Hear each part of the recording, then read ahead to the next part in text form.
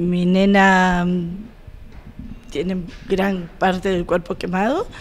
Eh, se suponía de que hoy a la mañana teníamos un traslado porque acá cirugía plástica los cirujanos dijeron de que ya la próxima curación no, no era para este lugar, que ya necesitaba una derivación.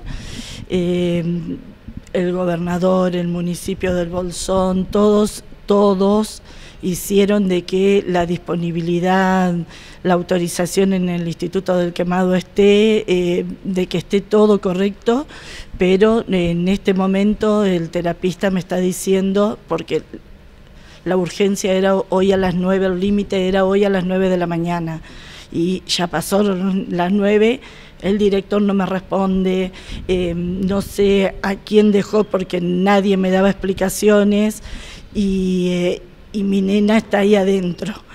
Entonces...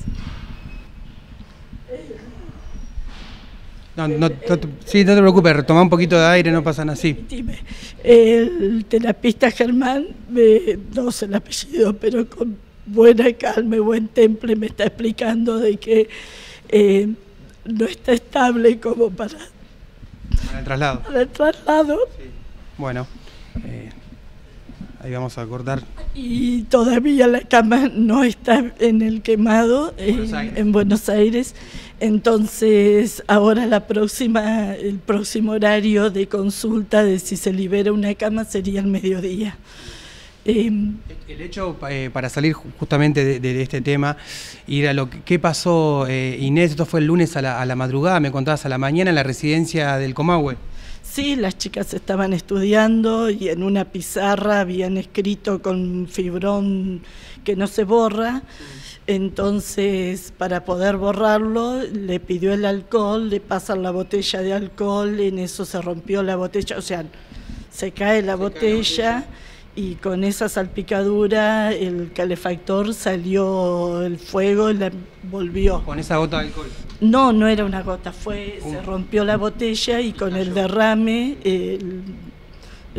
estaba el calefactor abierto, sin la parte de la carcasa.